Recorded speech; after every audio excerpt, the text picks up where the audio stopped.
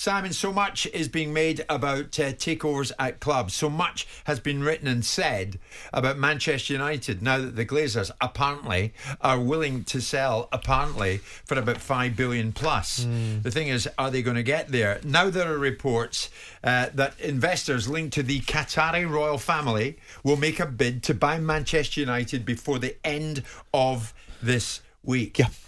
So we now this, if you like, if you want to call it a soft deadline of this Friday is approaching yeah. for the first round of proposals.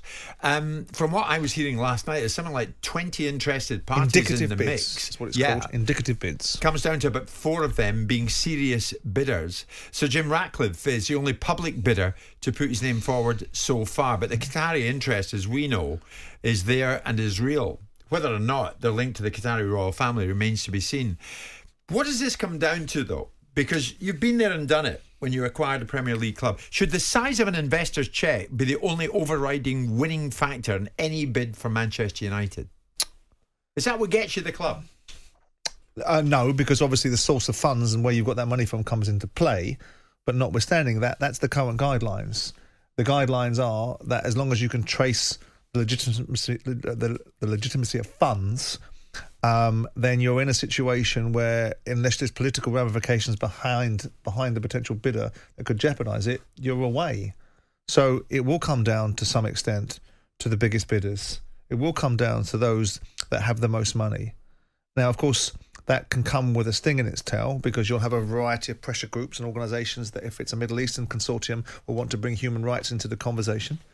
And the argument that the Premier League should fall into that situation of optics and of course realities um, becomes a debatable perspective because then you move into the territory of what is Manchester City. People will say it's not a state-owned football club, but Sheikh Mansour sits in the government.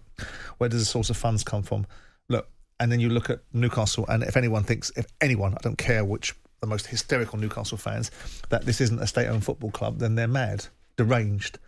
You know, MBS owns PIF. PIF is a state-owned sovereign fund. PIF own Newcastle End of discussion. The only reason they wanted to give this ruse of separation of powers right. was because they wanted to get around arguments from UNICEF and people of that nature. And from if what we hear is true, because the Qataris bid is always boosted well, by Beck. Well, well Beckham, David surely, Beckham's been asked back. Surely to God, David must have been on a retainer. I mean, he's been running around in the souks of Qatar telling everyone which particular spice he likes. Yes. So with that in mind, he must be on a retainer. He must be, let's call Dave. He'll give us the uh, the heads up, albeit don't forget, David is a club owner himself, with everyone else's money Inter Miami. Of course he is. So how can he advocate for the buying of another football club? Of course that he could is. be influence. Yeah, but he said undue influence. What would David want in return? Yeah, I must say, in his defence, he had the good grace to speak to me when we were over in Qatar, and he didn't do much else. Listen, he's he's already said, has he not? Yes, that he would be willing, he'd be open to talks to put his name to a Qatari bid for Manchester well, United. You know, there goes the brass neck again. They don't have any shame, do they?